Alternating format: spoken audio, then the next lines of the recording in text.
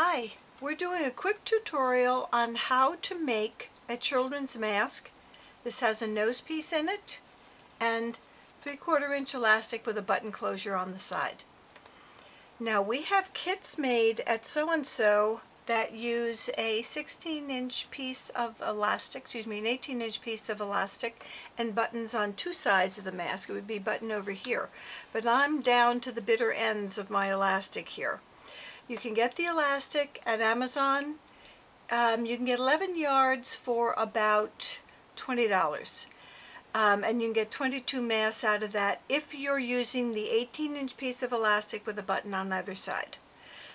This tutorial is going to show you how to do it with a strap because like I said I'm down to the very ends of my elastic. Um, okay, what you're going to need is the pattern and the template which um, there's a link on the end of the video for the pattern and the template. The pattern has pictures.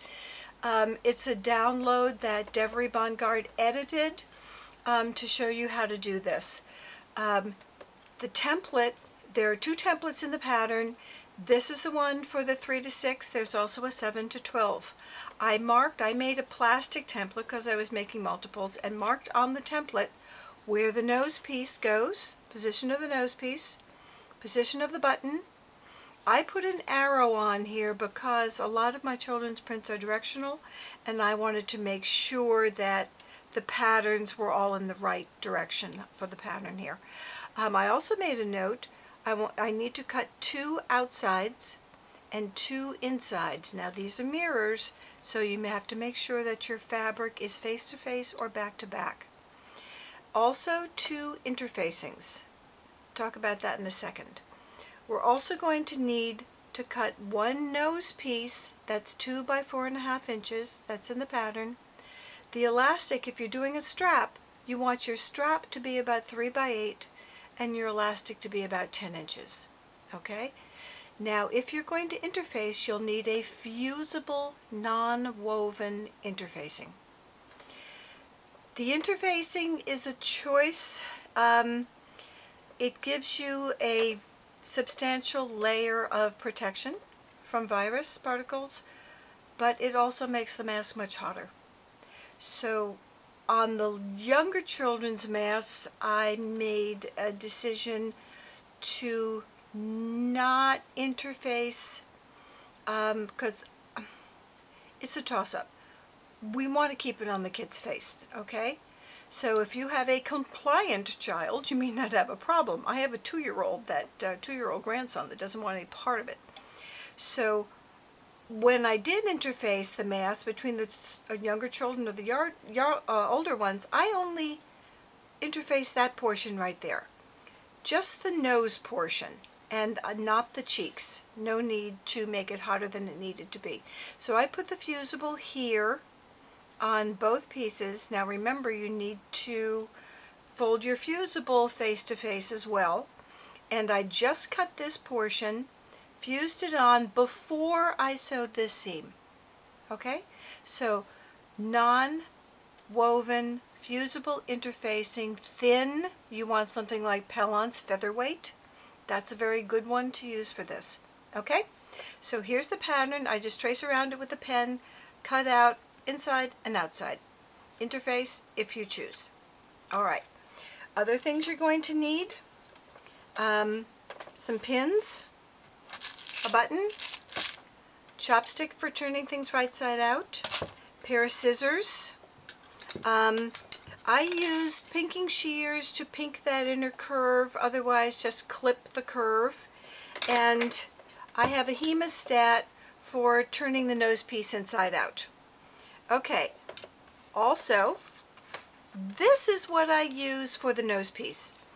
On our kits, we had um, those plastic and metal pieces that are used to close coffee bags. They're called coffee bag closures. You can get them in a bag on Amazon. They're seven inches long, and you cut them in half for this. Um, some people have been uh, twisting twist ties together, but that twist may be a bump that could be uncomfortable. And I don't know how washable it is. Now this is plant twist tie out of my gardening cart. It's about five bucks for 200 feet at Home Depot or Lowe's. All you do is cut off a, a piece that's about eight inches long, little cutter on the side. I've had pieces of this that I've used in my garden literally for years outside and it's still holding up just fine. So I take my piece, fold it in half, flat, and then measure out my three and a half inches that I need for the finished and just turn over the ends and pinch it tight. Okay, they don't need to twist. This is going to slide in and out of the mask beautifully. It's washable. It doesn't ever need to come out. Okay, and good thing, it's inexpensive and easy to get.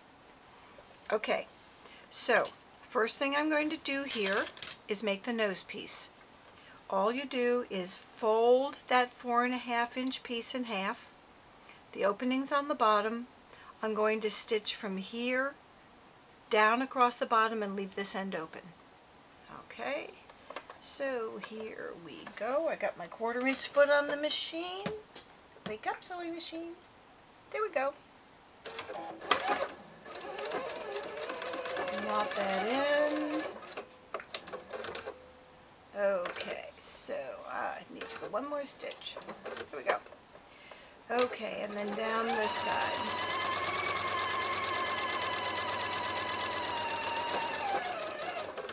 Not that. I'll clip the corners.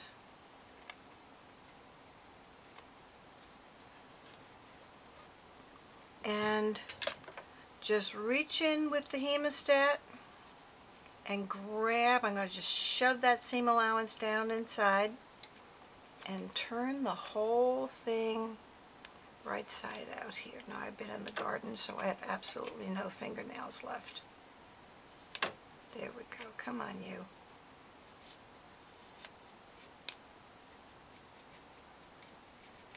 There it is. Okay, so push the hemostat back in and punch out the corners. That one and that one. And I just run it along the crease to unfold everything. And now I'll press this. And I want to take this open edge and fold it under a quarter inch or so and press that one as well. Okay, so this is all set to go. And let's do the strap. So we want to take the strap and fold it in half. Increase this. And then I'm going to fold it to the center. I'm not going to go all the way to the center. I did that before and discovered that with a three-quarter inch elastic, um, it was too tight uh, to get the end of the elastic all the way tucked in. So I'm leaving a space here, like that, and fold it over. This way, when I put the elastic in, it's going to completely cover that outer edge of the elastic. Okay, so I'm going to fold over one end, give it about a half inch or so. I want to get a good grip on that elastic. Okay, so here we go with the strap. Let's tuck in the end and close this up. Okay, that see that completely covers the end of the elastic now, where it didn't before. And I'm going to pin that edge and I'm going to start sewing down this side over and back.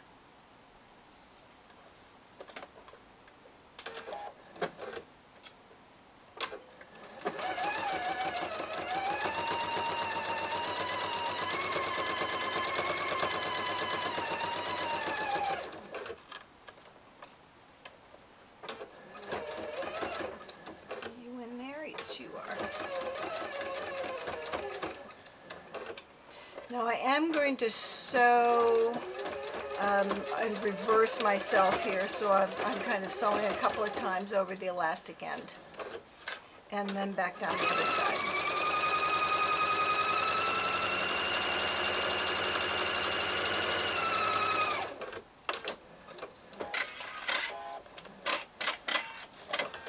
So here's our strap all completed, ready to go over there. And now we'll do the two fronts.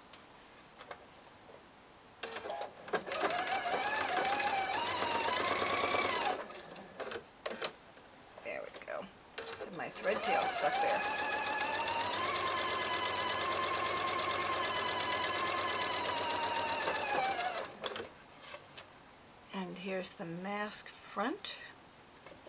Just line it up. I'm not a pinner. I only pin when there's detail in here. Remember, this is a mask. It's not a quilt block. It doesn't need to be absolutely perfect.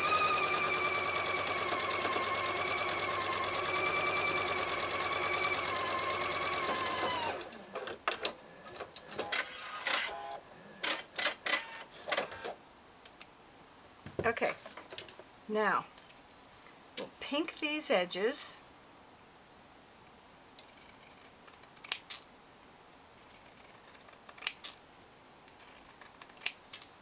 Just makes it a little easier to, it'll turn more evenly. You won't get as many wrinkles in that curved edge. There we go. Okay. And I'm just going to reach in with this. I find actually my bigger iron works better, but for purpose of the tutorial, this works. Um, the snout on my iron is a little sharper than this is, and all I want to do, I'm just pushing against the seam allowance just to flip it in one direction. Okay, just a little bit there. Now, you'll note I've got, this is, this top curve is the nose. This is the chin piece. Put them both in the same direction, lining and front. And iron them both the same way. Sounds counterintuitive, but when we put these together face to face, they'll be mirror images of each other and that way, see just like that, just kind of curve it to one side. And this way when it's done, the seam allowances will nest because they'll be in actually in opposite directions. Okay, so now the nose piece goes in. I'm going to fold this in half and just put a little finger crease in here so I know where the middle of this is. Right there, you can see the crease. Make sure you're lining this up with the top. I did one before and I had it upside down. Okay, position the crease over the seam allowance with about a half inch to spare. Pin through the seam allowance and I'm going to line this up again about a half inch up. Pin in the folded over end. And keep it all nice and straight here. This is the finished end that will also be kept open. So we're going to start sewing here. Go down this is the open end down the side across the fold and back up. You need to turn it inside out to do this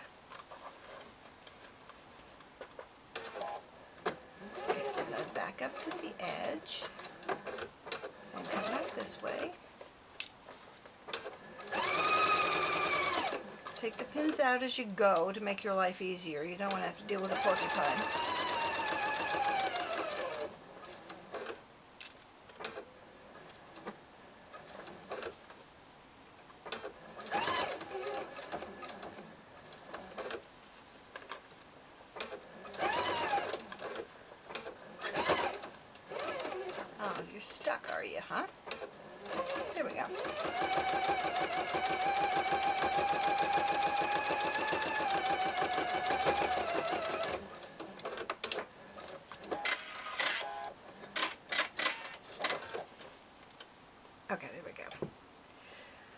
So now the nose piece is in. Here's the opening where that piece of um, this wire will eventually go right in here.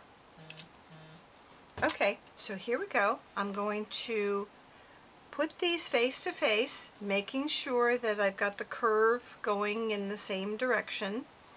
Like I said, I did sew one upside down. I had to take it all apart. Okay, so this is the four pin system here. Nest the top seam allowances, put it in a pin. One end, even up, One pin, that's all you need. Anything more and it gets hard to hold. Come on, you is the inside. Here it is. This is the chin seam. Nest the seam allowances again and there we go. Now this end is where the strap has to go. So we're going to take this strap and roll it up just like that and tuck it inside here just like that. I leave it good quarter inch sticking it out, sticking out. We don't want to line it with this or this because these are angles. You want it perpendicular to the end, the short little end. Okay, so I'll fold this up, line that up, and put a pin in this way. Come on, get, get a little straighter there. There we go. Now, the original pattern had you leave one end open to turn this whole thing. You had to squeeze all this out through that one inch finished hole. That was kind of silly. So we're leaving about two and a half inches open on the bottom edge. So I'm going to start here about an inch and a half in, go up, over, all the way around, and stop here. Okay, this just takes a minute. So here we go, about an inch and a half from the end.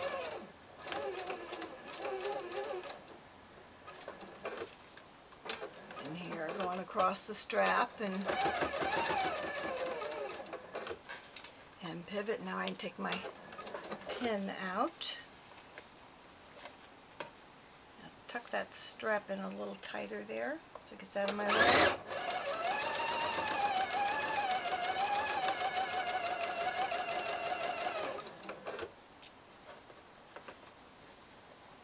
You can actually do one of these in about 20, 25 minutes or so. What do I feel in there?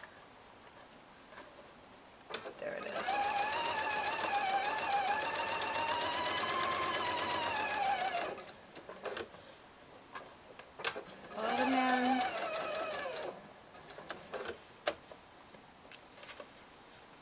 Okay, and here's the chin.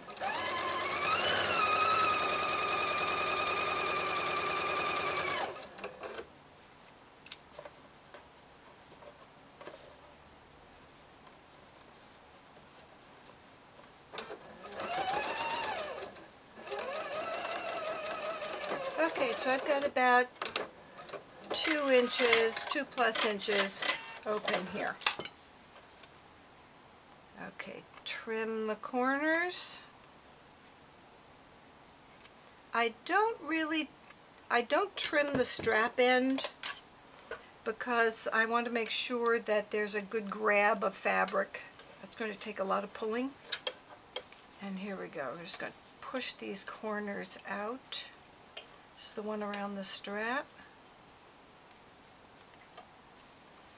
And turn the whole rest of this inside out.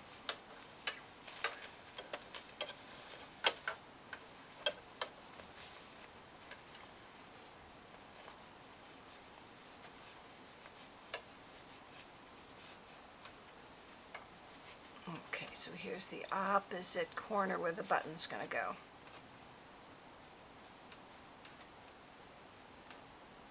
There we are.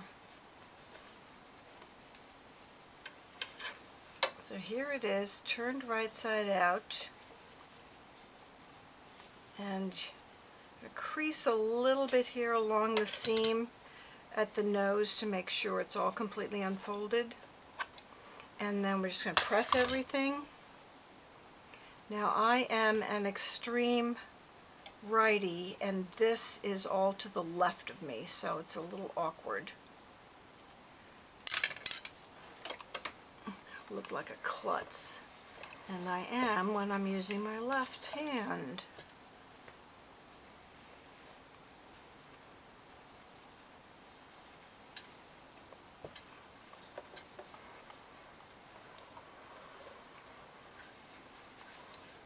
Press that press the chin here. And here, where the opening is, see how it's kind of sticking up? If you stick your fingers into the opening, it will push the seam allowance down and then just pull a fraction, just very gently, and see it all lies down flat? So I'll put a pin to hold that and press that edge down. Okay, so here now we're just going to top stitch this and when we top stitch we'll be closing that hole and everything is all good here. Let me start.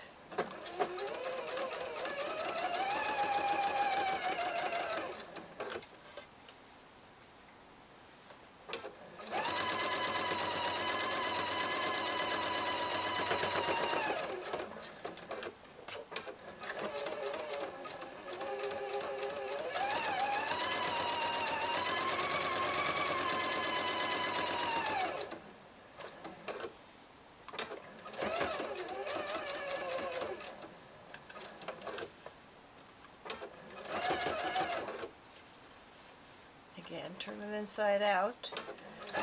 So it cups around the sewing foot so you can get to that edge neatly. If you try cupping it in the other direction, it'll be all wrinkly. Now across the base of the strap where I had that extra fabric inside, I'm going to sew across, again I'm going to sew across just a couple of times, make me feel like I've got a little better anchor on it.